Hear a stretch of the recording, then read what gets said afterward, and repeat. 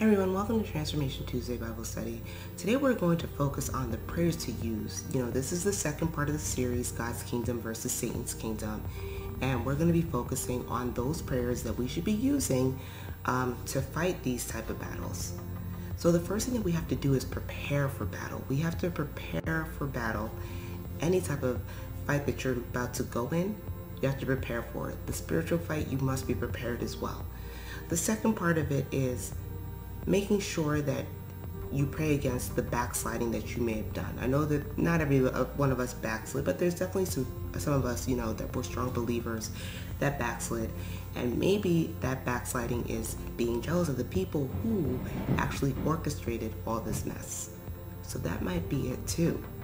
And so you need to make sure that your heart is clean of all that before we go into the actual prayer against all these, you know, folks and their demons and their spirits and their principalities that are working within them using Psalm 64. So I really hope that this blesses you. We will be using the New King James Version Bible, but you could pretty much use any acceptable version and follow along with us. Or if you don't have a Bible at all, we will have all the scriptures on the screen for you. Once again, thank you for joining us. I really pray that this blesses you and that you really, really grasp onto this and use this prayer daily to get rid of all this because it will come. To, I mean, I'm telling you, if you have the faith to believe and you really, really do these prayers with fervor, with the power of the Holy Spirit within you, they will.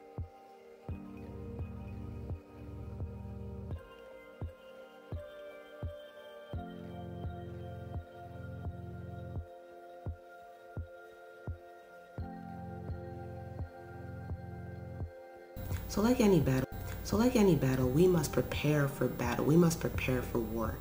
And as Christians, that means that we ask God to do certain things in Jesus' name, like sending forth warrior angels. We plead the blood of Jesus on ourselves. We ask him to fill us up with the Holy Spirit. The reason why we do all these things is because when you're asking him to do that and you ask him to do that in faith and you truly do believe, enemies can't penetrate that barrier. They can't penetrate that barrier. Those warrior angels will rip them apart, you know? And then of course the blood of Jesus, they can't pass that, you know? So when you're praying these things, that's the reason why, so that they can't hear what you're praying about and what you're talking about. And these are especially for people who can't pray in tongues. If you can't, that's okay. If you can, please by all means do it. I'm 100% for praying in tongues if you're able to do that. But if you can't, this is, this is a perfect way to do it. And even if you can pray in tongues, it's always good to ask for a hedge of protection around you. And then after doing that, definitely repent of all sins known and unknown. Make sure that your heart is clean. Name those sins that you're repenting of. And really, really name them because you know that these are sins that you know that you don't want to fall back into and you don't want to slip back into, just name them. Any one that you can recall. And if you can't recall, remember, you're repenting of sins known and unknown. So you're clearing your heart of them. And then you ask God, or sorry, you ask, you plead the blood of Jesus over yourself and you ask Jesus to cleanse you of that with the blood of Jesus, of course. So you're completely cleared of that. You could even ask God to take those sins to his throne for complete and final judgment so that they'll never come back again. And I'm telling you, if you have the faith in God to believe, they will not come back. Those desires to even do those sins, to even practice those sins, will never come back. So you have to make sure that your heart is clear. And once you do that, you're also present, preventing yourself from any oncoming attacks, from any oncoming interference by the enemy, because you've already repented of those sins. You told God that, look, you're sorry. You repent of them and he has forgiven you. Once you repent with your, within your heart and you know that these are things that you're never going to do again, he forgives. He always forgives. So that's definitely the thing that you should do next. And then after that, of course, like we talked about in the you know previous session, you should definitely put on the full armor of God. Have your Bible with you you know, have your Bible with you. Of course, you must pray in the Spirit at all times, and you have to pray with faith. You have to pray with faith for yourself and for God's people. And also for people who aren't God's people. I know this is not in Ephesians chapter 6, verses 10 through 18, but for people who are not, you know, believers yet, for them to become believers. So this is definitely some good preparation before you actually start doing any kind of prayers or psalms. So with that said, Let's go into Psalm 73. So, everyone, open up your Bibles to Psalms 73, verses 1 through 7. That's Psalms 73, verses 1 through 7. Truly, God is good to Israel, to such as are pure in heart. But as for me, my feet had almost stumbled, my steps had nearly slipped. For I was envious of the boastful when I saw the prosperity of the wicked. For there are no pangs in their death, but their strength is firm. They are not in trouble as other men, nor are they plagued like other men. Therefore, pride serves as their necklace. Violence covers them like a garment. Their eyes bulge with abundance. They have more than their heart could wish. So let's continue on in Psalm 73, verses 8 through 14. That's Psalm 73, verses 8 through 14. They scoff and speak wickedly concerning oppression. They speak loftily. They set their mouth against the heavens, and their tongue walks through the earth. Therefore his people return here, and waters of a full cup are drained by them. And they say, How does God know?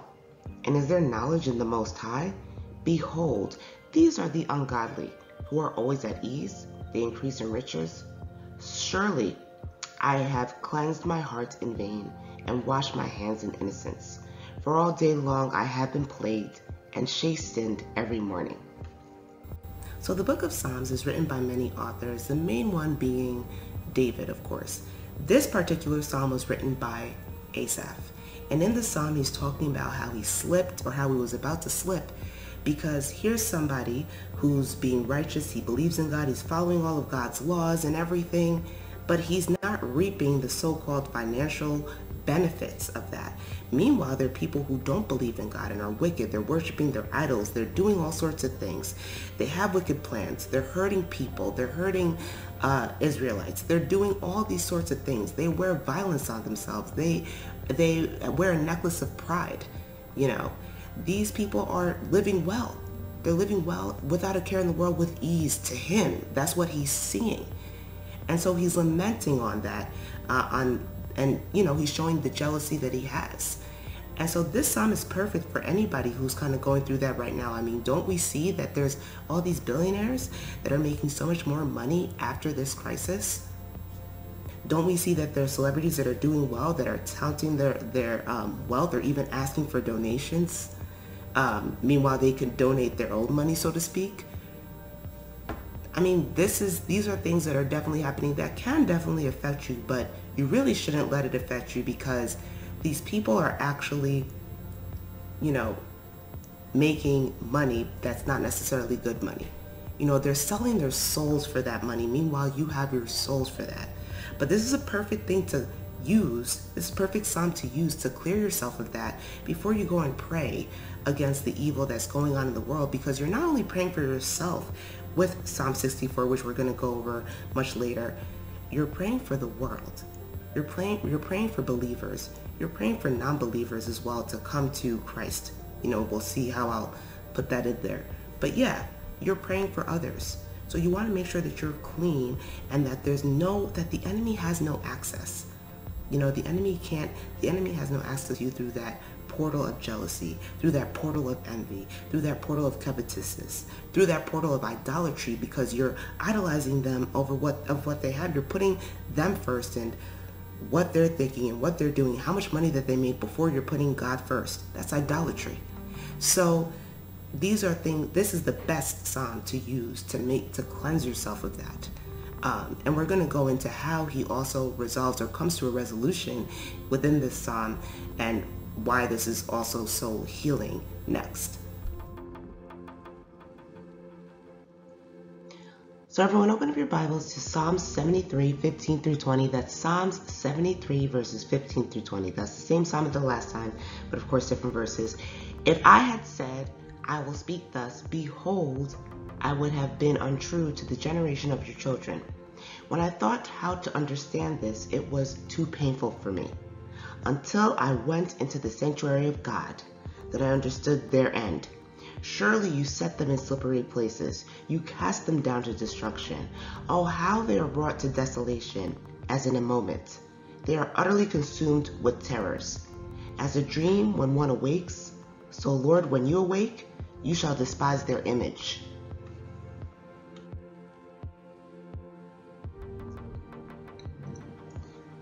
So everyone, let's continue on in Psalm 73 verses 21 through 28. That's Psalm 73 verses 21 through 28.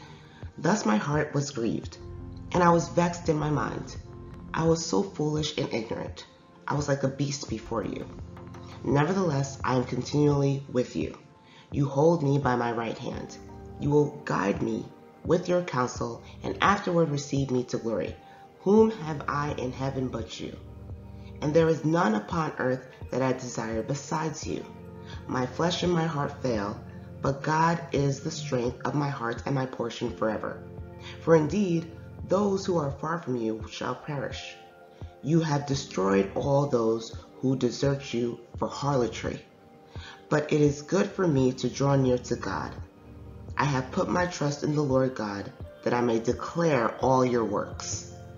So as we get towards the end of Psalm 73, Asaph realizes the error of his ways and he repents because he knows that even though he doesn't have all the money in the world, there's definitely a point of him worshiping God and believing in God. And he finds this out in worship in God's sanctuary. So that's where he discovers this. And he repents of that because he also talks about what happens to the wicked at the end of the day. They perish, they have extreme consequences, consequences that we don't have to have because we believe in God and the Lord and Savior Jesus Christ today. I know that Christ wasn't there then, but this kind of ties into that. So that's what we have to realize. We have to realize what their end is. We have to realize what their end is and not covet what they have or not covet what they have, so to speak. We don't have to want, we don't have to have what they have. We don't have to have a lot of money. You know, they made a lot of money off of this, yes you know? And so what we have to do is continue to pray against all their plans and schemes. Not sit here and want the life that they have or want the money that they have or be jealous that hey you know what? I lost my job but these billionaires are making even more money or these celebrities are making even more money during the crisis you know? So you have to think of it that way and think about eternity think about eternal life that's the whole point of this. When you get to this point of this prayer, you realize, okay, how foolish you felt, you know, or how, you know, silly you must have felt to feel like, you know what, I'm jealous of these people, or I have jealousy in my heart because they're prospering during this crisis and I'm not prospering.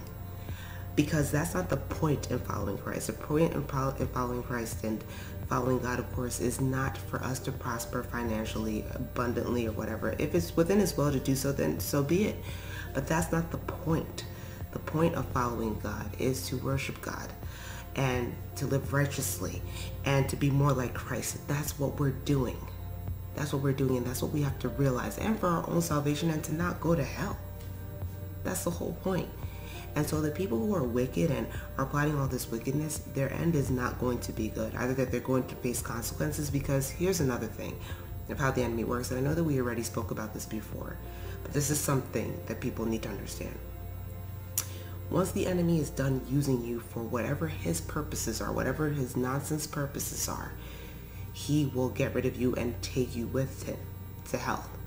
Because now he needs your soul. Now he wants your soul the more that he takes your soul, the more powerful he so-called gets, so to speak. So that's the whole thing. Once he's done using one of his agents or these people, that's what happens to them. So we really have to, you know, think about that before we start wanting what they have or being jealous of what they have or wanting to be as wealthy as they are, you know, or idolizing them when we're really supposed to be focused on God and not them. And this is a great, a great prayer to use to cleanse your heart of all that and to cleanse yourself of all that so that when you're focusing on the prayer of Psalm 64 that we're about to go into, you have a clear head and a clear heart because you're not jealous of these people. You want justice for what they've done. You want justice for the way they're laughing at the people who are oppressed. You want justice for the way that they're putting us through this all for nothing, basically. Or that's what you want is justice. You know, justice for all and not just for yourself and also for, you know, people who are not in Christ to also come to Christ. So everyone, let's turn to Psalm 64 verses 1 through 5. That's Psalms 64 verses 1 through 5. Hear my voice, O God, in my complaint. Guard my life from the terror of the enemy. Hide me from the secret counsel and conspiracy of the ungodly, from the scheming of those who do wrong, who have sharpened their tongues like a sword. They aim venomous words as arrows, to shoot from ambush at the blameless one. Suddenly they shoot at him without fear. They encourage themselves in their pursuit of an evil agenda. They talk of laying snares secretly. They say, Who will discover us? So, everyone, let's continue on in Psalm 64, verses 6 through 10. That's Psalm 64, verses 6 through 10. They devise acts of injustice, saying, We are ready with a well conceived plan. For the inward thoughts and the heart of a man are deep, meaning they're mysterious and unsearchable. But God will shoot them with an unexpected arrow. Suddenly they will be wounded, so they will be caused to stumble. Their own tongue is against them. All who gaze at them will shake their head in scorn. Then all men will fear God's judgment. They will declare the work of God, and they will consider and wisely acknowledge what he has done. The righteous will rejoice in the Lord and take refuge in him, and all the upright in heart will glory and offer praise. So, this psalm in particular is focusing on praying against enemies that are coming against David at the time. And these type of enemies that they're talking about, they plan all these secret plots, they have all these secret plans. Isn't that what's going on now? All these crises that are going on things are being done in secret. We're not given being given full information. The newscasters are on there igniting fear with their headlines, with what they're saying. They're not giving us any confidence. They're using their words as swords to cut us. And when I mean cut us, I mean anxiety, depression, anger. This is what's happening to us. Then you also have deception and deceptive organizations like I'm sorry to, I'm gonna have to say it again, but BLM is a deceptive organization. You have people practicing witchcraft that that lead that organization. Th- this is a big problem, and this is all the type of warfare. Think about it. So you have the second heaven, where that's where all the demons are, by the way, and now it's just out of control.